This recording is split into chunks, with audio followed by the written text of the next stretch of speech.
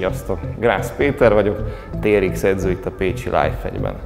A TRX egy speciális eszköz, amit az amerikai haditengerészet elit csapatának fejlesztettek ki.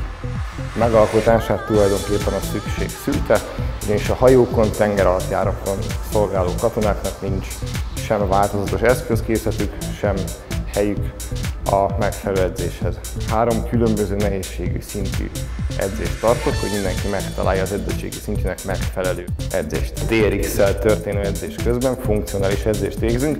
Ez annyit jelent, hogy a teljes testet dolgoztatjuk, meg a teljes testet edzük, és nem pedig külön izomcsoportonként dolgozunk. A TRX kezdő órán bemelegítés után bemutatom az eszközt, elmagyarázom a helyes tartást a különböző alapállásokhoz. Az óra következő részében alapgyakorlatokat mutatok be, és természetesen itt már becsatlakoznak a vendégek is. A TRX óra már haladó vendégeknek szól, akik használták az eszközt nem ismeretlen számukra, és az alapgyakorlatokon túl nehezített feladatokat is végre tudnak hajtani. A TRX köredzés összetettebb, mint a TRX kezdő vagy a TRX óra, és kevesebb a gyakorlatok közti pihenőidő, hogy az edzett szervezet számára is megterhelő legyen.